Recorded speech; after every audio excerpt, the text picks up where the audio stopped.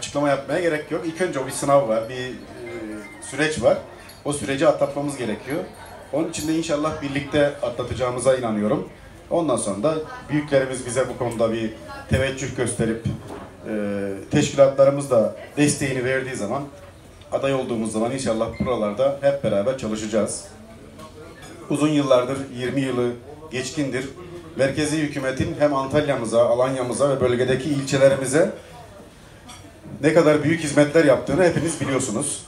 Bunları saymama gerek yok. Zaten bunlarla ilgili saymaya başlarsak burada vakit yetmez, zaman yetmez. Onun için de sizin vaktinizi bu hizmetlerin büyüklüğünü ve e, çokluğunu sayarak vaktinizi almak istemiyorum. Ama ben de bu kardeşiniz, e, bir kardeşiniz olarak bugüne kadar yapılan bu hizmetlere, bu memlekete, bu bölgemize, Antalya'mıza yapılan katkılara, böl- merkezi hükümetten getiren yatırımlara bir çakıl taşı dahi olsa ilave etmek için, üstüne koymak için gece gündüz çalışacağım. Bunun taahhüdünü veririm hemşerilerime de. Onun için e, hepinize geldiğiniz için, bu davetime icabet ettiğiniz için çok teşekkür ediyorum.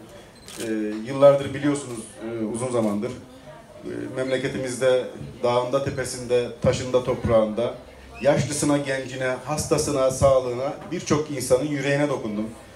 Birçok insanımızın duasını aldım.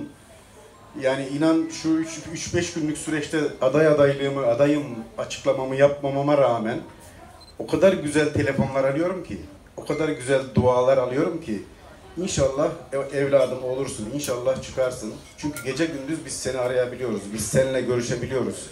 Geçen gün hastanede yanıma geldin. Geçen gün çocuğum hastalanmıştı, işte düşmüştü, işte ayağı kırılmıştı. Sen hastanede gece geldin bize orada yardımcı oldun. Ben bunu unutur muyum oğlum diyen telefonlar aldım. Ee, İnşallah Cenab-ı Allah bizi mahcup etmez. Daha çok hizmet ederiz. Daha çok gönüller kazanırız. Daha çok yüreklere dokunuruz.